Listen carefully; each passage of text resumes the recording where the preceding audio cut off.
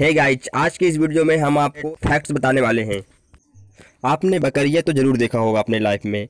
क्या आपके मन में ये आया है कि दुनिया में लगभग कितनी बकरियाँ होंगी या बकरी के कितने दांत होते हैं? तो इसी तरह के फैक्ट हम जानेंगे आज की इस वीडियो में। तो दुनिया में लगभग 450 मिलियन बकरियाँ हैं और एक मिलियन में 10 लाख के बराबर होता है। और बकरी के केवल नीचे के दांत होते हैं और ऊपर के दांत नहीं होते हैं सिर्फ़ उस पर मसूड़े होते हैं, दांत नहीं होते हैं। नेक्स्ट फैक्ट है, ऊँट कितने साल तक जीवित रहता है? तो आपको क्या लगता है कि ऊँट कितने साल तक जीवित रह सकता है? तो आप ये कमेंट बॉक्स में ज़रूर बताएँ। चलिए हम आपको बता देते हैं, जो ऊँट है, ऊँट को इंग्लिश में कहते हैं कैमल की जो औसत जीवन काल होता है, वो 40 से 50 वर्ष तक रहता है। यानी ऊँट जो है, वो 40 से 50 वर्ष तक जीवित रहता है। दुनिया के सबसे छोटे आदमी का नाम है चंद्र बहादुर डोगी, और ये नेपाल के रहने वाले हैं, और उनकी जो लंबाई है, वो लगभग twenty one point five inch है। चलिए अब बात कर लेते हैं दुनिया के सबसे लंबे आदमी के बारे में। तो दुनिया के सबसे लंबे आदमी तुर्की के सुल्तान हैं और उनका नाम है सुल्तान कोसन और उनकी जो लंबाई है वो लगभग आठ फीट तीन इंच है या आठ फीट तीन इंच के बराबर है।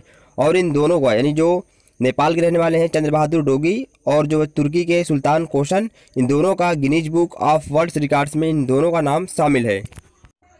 आपकी लंबाई कितनी है? ये कमेंट बॉक्स में आप ज़रूर बताएँ। आपको बताने वाले हैं सबसे, दुनिया की सबसे महँगी बिकने वाली बकरी।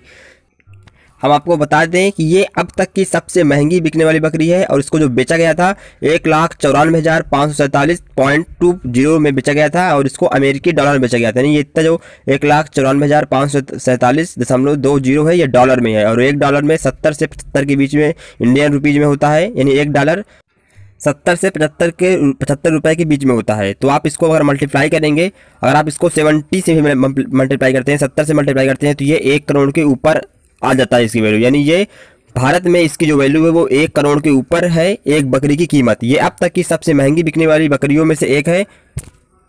तो इस बकरी में ऐसी कौन सी खास बात थी जो इसकी वैल्यू एक करोड़ की भी पार हो गई? अगर आपको इस पर भी वीडियो चाहिए तो आप कमेंट कर सकते हैं। हम नेक्स्ट वीडियो इसी टॉपिक पर लाएँगे। ज़ीरो को रोमन में क्या लिखते हैं? आपने बचपन में रोमन गिनती ज़रूर पढ़ी होगी। अगर आपको नहीं पता है तो हम ज़ीरो या शून्य एक ऐसी संख्या है, जिसकी हम रोमन नहीं लिखते हैं। अब बात कर लेते हैं सेकेंड फैक्ट की। तो सेकेंड फैक्ट हमारा है two one nine seven eight में इक्कीस संख्या से मल्टीप्लाई कर दे कि यह इसका उल्टा हो जाए। तो चलिए हम बात कर लेते हैं two one nine seven eight में। अगर आप फोर का मल्टीप्लाई करेंगे तो फोर से आप मल्टीप्लाई करने पर चेक कर लीजिए कि हो जाएगा eight seven nine one two यानी ये इसका रिवर्स हो गया है या फिर उल्टा हो गया है। नेक्स्ट फैक्ट हमारा है, फैक्ट नंबर थ्री। तो अगर आप भी चिलगम खाते हैं या फिर चुंगम चबाने की आदत रखते हैं, आप चुंगम को आपको पसंद है तो अध्ययन में ये पाया गया है कि जिन लोगों को या जिन छात्रों को चिंगम चबाने की आदत होती है, उनके पास गणित का एक बेहतर स्कोर होता है उनका जो माइंड है वो ज़्यादा तेज़ी से कोई भी चीज़ सोच सकता है और उनका माइंड ज़्यादा शार्प होता है और बहुत तेज़ी से चलता है। क्या आप जानते हैं कि ट्रेन की प्रहरियों में कभी जंग क्यों नहीं लगता है? तो अगर आप नहीं जानते हैं तो चलिए हम आपको बता देते हैं। तो आप सभी लोगों ने अपनी लाइफ में कभी ना कभी ट्रेन में सफ़र ज़रूर किया होगा। अगर यात्रा नहीं की भी हो तो आप रेल की पटरियों को ज़रूर देखे होंगे। लेकिन क्या आपने कभी सोचा है कि हमें हमारी मंजिल तक पहुँचाने वाली लोहे की पटरियों पर कभी जंग क्यों नहीं लगता है या कभी मुर्चा क्यों नहीं लगता है? तो इसके पीछे की वजह क्या है तो सारा कुछ हम जानेंगे आज की इस वीडियो में। अगर आपको इसके बारे में जानकारी नहीं है तो कोई बात नहीं है। इस वीडियो में हम आपको बताने जा रहे हैं कि आखिर रेलवे ट्रैक पर जंग क्यों नहीं लगता है या फिर मूर्छा क्यों नहीं लगता है? सबसे पहले हम जान लेते हैं कि मूर्छा क्यों लगता है या फिर जंग क्यों लगता है।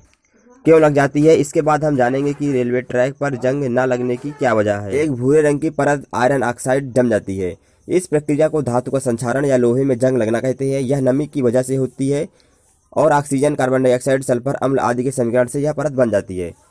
दरअसल रेलवे ट्रैक बनाने के लिए एक खास तरह की स्टील का इस्तेमाल किया जाता है। इस स्टील और मेघलाय को मिलाकर ट्रेन की पटरियाँ बनाई जाती हैं। स्टील और मेघलाय के मिश्रण मैग्नीज स्टील कहा जाता है। इसमें 12 प्रतिशत मैग्नीज और एक प्रतिशत कार्बन मिला होता है। यही वजह है कि ट्रेन के ट्रैक पर ऑक्सीकरण काफ़ी धीमी गति से होता है, जिसके चलते ट्रेन की पटरियों पर सालों साल जंग नहीं लगती। वहीं अगर रेलवे ट्रैक को आम लोहे से बनाया जाए तो हवा और नमी के कारण उसमें जंग लग जाएगी, जिससे पटरिया को जल्दी जल्दी बदलना पड़ेगा और इसमें खर्च भी काफ़ी होगा।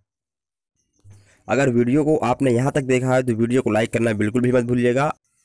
और अगर आप इस चैनल पर नए हों, या फिर आपने अभी तक हमारे चैनल को सब्सक्राइब नहीं किया है तो आप जल्दी से हमारे चैनल को सब्सक्राइब कर लीजिए और बेल आइकन भी ज़रूर प्रेस करें ताकि आपको जब भी इससे रिलेटेड नए नए फैक्ट आते रहें तो हम उस पर वीडियो लाते रहें।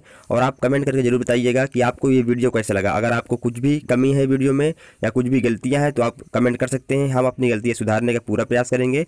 और आप कमेंट करके ज़रूर बताइएगा कि आपको ये वीडियो कैसा लगा। मिलेंगे आपसे बहुत जल्द नेक्स्ट वीडियो में। तब तक के लिए गुड बाय